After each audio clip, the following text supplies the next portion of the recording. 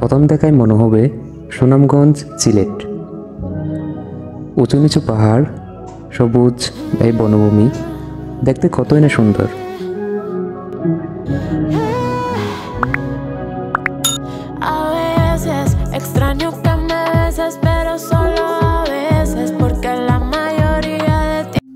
গরিবের সুইজারল্যান্ড কিংবা গরিবের সুনামগঞ্জ এমনটা শুনে আজকে আমরা এসেছি এর সত্যতা যাচাই করতে।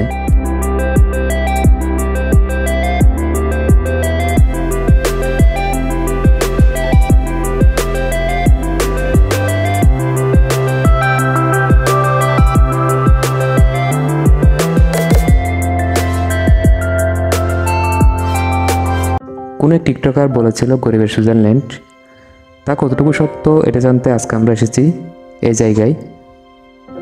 জায়গাটা মূলত কক্সবাজার জেলায়। আর আজকে আমরা এসেছি এটা দেখার জন্য।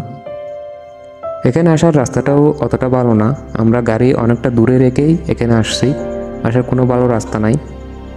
আপনারা দেখেই বুঝতে পারছেন আসলে জায়গাটা সুন্দর, কিন্তু মানুষ যতটা বাড়াই বলে অতটা আসলে না।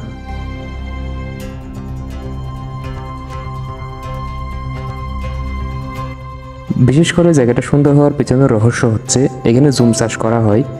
জুম চাষ করার ফলে এই যে সবুজ সবুজ যেই জায়গাগুলো দেখতেছেন, এগুলো হচ্ছে সবগুলো দান এগুলো সব ফসলি জমি।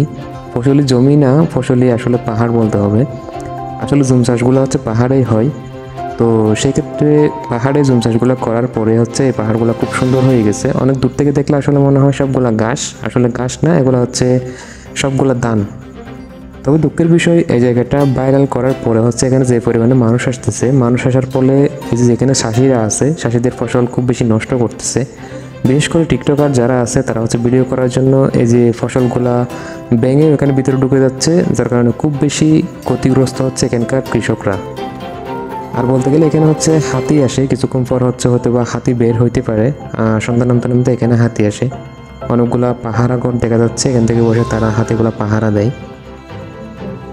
তো বলতে গেলে এটা কোনো গরিবের সুইজারল্যান্ড কিংবা সুনামগঞ্জ কিছুই না। তার দ্বারে কাছেও কিছু নাই। আসার রাস্তাটাও খুব একটা ভালো না। তবে হ্যাঁ এটার মতো এটাই অনেকটা সুন্দর। কিন্তু আসতে খুব বেশি কষ্ট হবে, কারণ জায়গাটা অত বেশি ইয়া না। আসতে খুব বেশি কষ্ট হবে, কারণ আসার রাস্তাটা খুব বেশি ভালো না। গাড়ি অনেক দূরে রেখেই এখানে আসতে হয়, হেঁটে। তো সবাই ভালো থাকবেন। দেখা হচ্ছে নতুন কোনো গরিবের সুনামগঞ্জ কিংবা সুইজারল্যান্ড নিয়ে। আবারও আসছি আপনাদের সাথেই, আপনাদের সামনেই। আর আমার চ্যানেলটা সাবস্ক্রাইব করে আমাদের সাথে থাকবেন। আর যদি ফেসবুক পেজ থেকে দেখেন পেজটা ফলো করে দিবেন। অসংখ্য ধন্যবাদ।